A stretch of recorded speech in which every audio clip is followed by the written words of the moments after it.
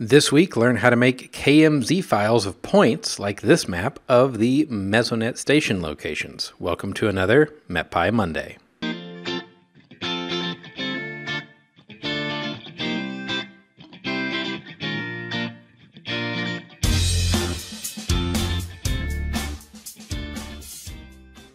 Hello, I'm John Leeman, a software engineer for Unidata.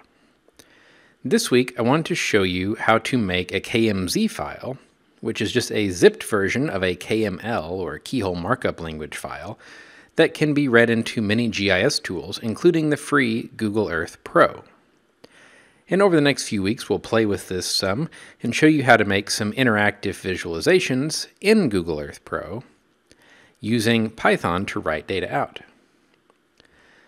So first, I'm going to import pandas as PD and we're going to get some data to play with.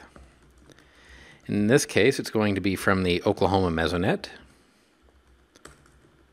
So mesonet.org slash data slash public slash mesonet slash current slash current dot csv dot text. Uh, got a double extension somehow there on this one. And I'm going to specify that the delimiter is a comma. So if we look at the head of this data file, it's got the station ID, the station name, the uh, state, lat, lon, year, month, day, hour, minute, and so on. Now, this week we're not going to worry about any of the meteorological data, but we're just going to look at locations and how can we create points on our map. So we're going to use a package called Simple KML to create our KML file. We're going to import simple KML. If you don't have simple KML, it can be installed from pip or from the Conda Forge channel on Conda. Now the first thing we need to do to create a KML file is, well, we need to create an instance of the KML object.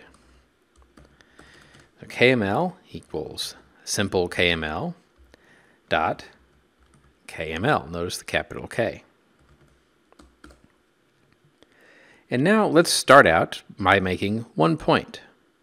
So anytime that you're using a new package or something that's new to you, you don't want to try to tackle the whole problem at once. We're going to approach this in a piecewise fashion. So from reading the documentation, I find that there is a method called newPoint. As you can see, there's lots of new things in here, new multi-geometry, photo overlay. There's lots of interesting things that we can explore. But new point is what we want. And there's lots of documentation along with it as well. But to start out with, we're going to be pretty simple. Uh, we're going to give our point a name. I'm going to call it test. And we're going to give our point some coordinates. Uh, altitude is optional. Uh, latitude and longitude are required. Longitude first. So I'm just going to pick this Antlers, Oklahoma station up here. Negative 95.67 and 34.25. All right, so we get something like a type error. So what's going on here? Well, we go down to the bottom of our error message and we see object of type float has no len. So what's the problem? Well, as it turns out, if we look more closely at the documentation, coords is a list of points. So we put our point in a tuple, and we put that in a list, and now everything works. This is one of those things that can drive you crazy when you're doing a new library. And it's just something you have to read the documentation and get used to thinking about how it might be written. For example, it's plural. So maybe this is something that uh, we could expect to have a sequence in. All right, and then let's save our file out. So kml.save,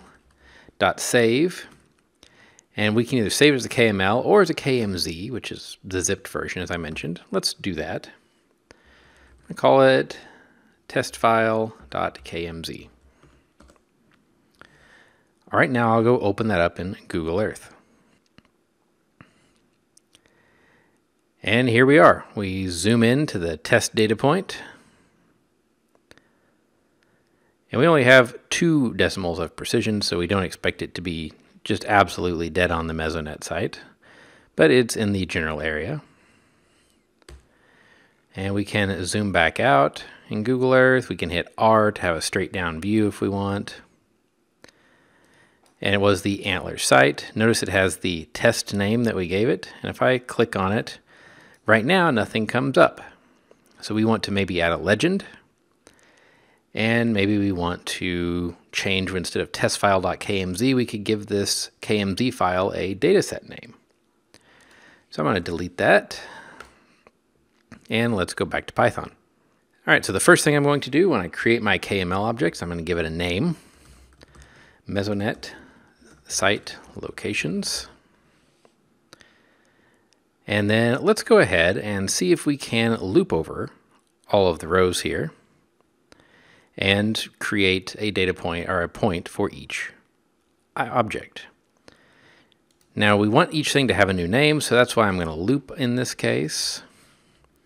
Oftentimes looping isn't the right answer, but in this case I think it's the easiest way to accomplish what we want, and we don't have hundreds of thousands or millions of records here.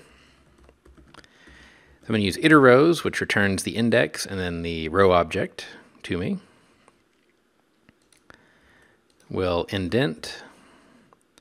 The name is going to be row, and let's go with station ID. The coordinates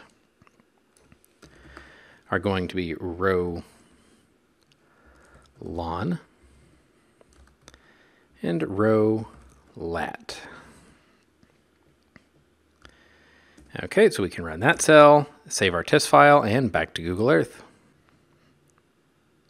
Okay, so now we see that we've got Mesonet site locations is the name of the dataset over here, and we've got a push pin for every location. We can hit R to get a straight down view, but if we click on a pin, right now there's still nothing there.